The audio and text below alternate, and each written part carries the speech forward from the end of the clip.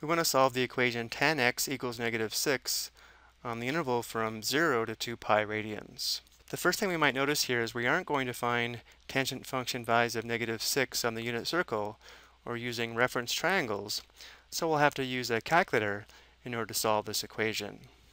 Also, in order to isolate x in our equation, we'll have to use the inverse tangent or arctangent function.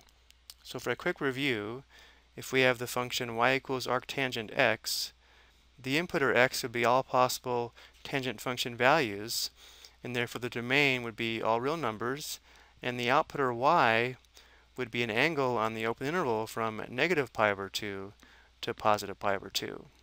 So to solve the equation tangent x equals negative 6, to isolate x, we'd have to take the inverse tangent or arctangent of both sides of the equation. So we'd take the inverse tangent of the left as well as the inverse tangent of the right, which would give us inverse tangent tangent x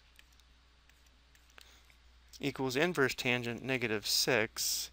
So the inverse tangent of tangent x simplifies to x, so we have x equals inverse tangent negative 6. And now we'll go to the calculator. We first want to verify we are in radian mode, so we'll press the mode key. Notice how radian is highlighted, so we'll go back to the home screen. And now we'll press second tangent for inverse tangent negative 6, close parenthesis, and enter. Notice how the calculator is telling us that x is approximately negative 1.4056 radians. So even though this would be a solution to our equation, notice how this angle is not in the given interval.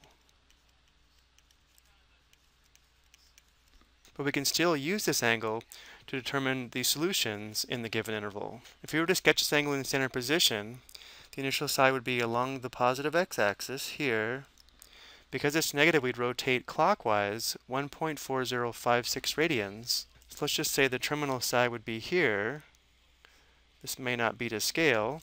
Now the rotation of this angle is clockwise, but notice that the reference angle would be positive 1.4056 radians. So if we were to sketch a reference triangle, it might look something like this.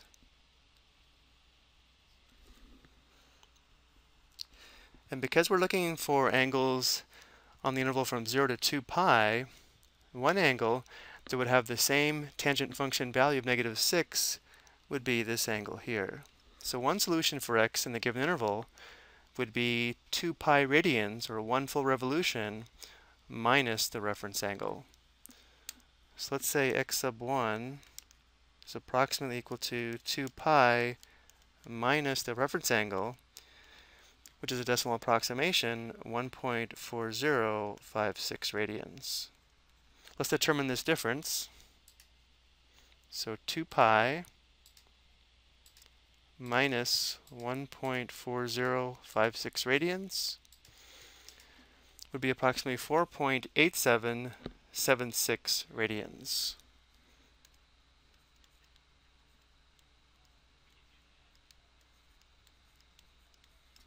But there's still another angle in this interval that has a tangent function value of negative 6. Tangent is negative in the fourth quadrant here, because remember tangent theta is equal to y divided by x, and in the fourth quadrant x is positive and y is negative. So this means that tangent would also be negative when the x-coordinate is negative and the y-coordinate is positive, which would be in the second quadrant. Again, in this quadrant, the x-coordinate is negative, the y-coordinate is positive, and therefore y divided by x would still be negative. So if we sketch the same reference angle in the second quadrant, we can find a second solution to our equation on the given interval. So let's say this ray here forms a reference angle of 1.4056 radians with the x-axis. That means this angle here would also have a tangent function value of negative 6. And let's go ahead and sketch the reference triangle for this angle as well, which would look like this.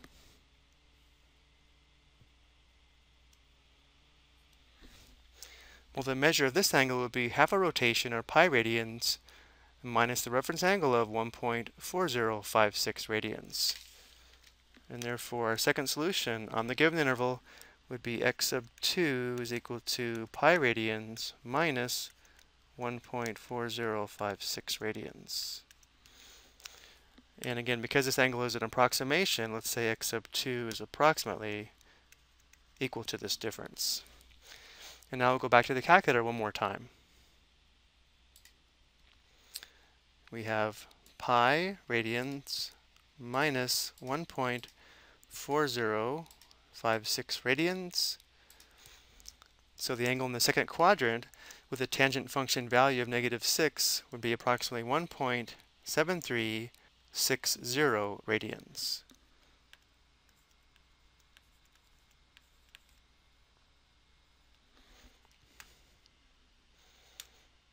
So these are our two solutions to the given equation on the given interval.